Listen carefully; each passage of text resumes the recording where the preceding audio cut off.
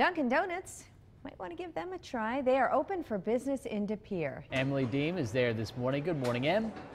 Morning, Rachel and Pete. Hi, everybody. Dunkin' Donuts in De Pere has been open for about a month now. And if you take a look over my shoulder, you can see the wide variety of donuts that they have out here. They're baked fresh every day.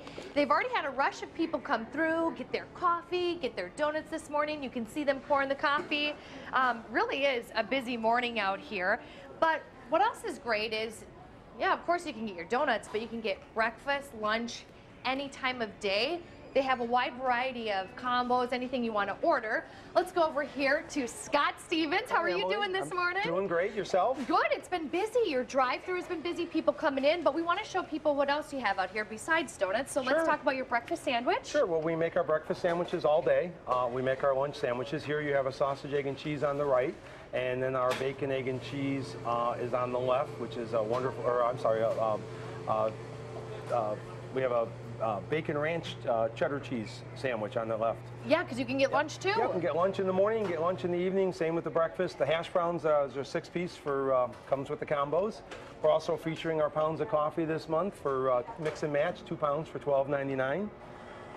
And I like little accessories you can get to go. Well, yes. Well, this is for you. What?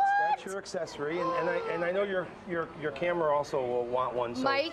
Mike needs one also. I got to treat him well. we got to treat him well. So This is know, awesome. I know Well, you. thank you. I know you. need to be drinking more. Yes, Yes. I know. Some water and everything. But talk about how busy it's been. I mean, your drive-through, people can call in and order the Yep. drive-through. Tell me about your workers. So well, I have wonderful workers. Uh, we hired over 60 people to open the store.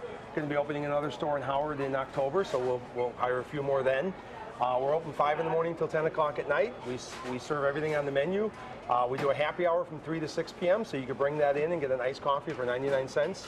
Wow. From 3 to 6. I told you we drink a lot. That's so nice. We drink a lot. What else I really like about it is you can come in and maybe grab your donut and go, but you actually have a really nice seating area over here for people. Yeah, we have we have a seat dining area here, kind of a fun with a little stools and the tables. We also have some outdoor patio uh, that you can sit in. Um, so free Wi-Fi.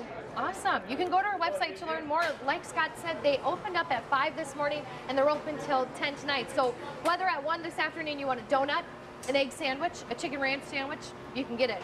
How As many have you had? Great coffee. Um, I've only had like one actually really big iced coffee, so I'm a little like, all right, ready to go.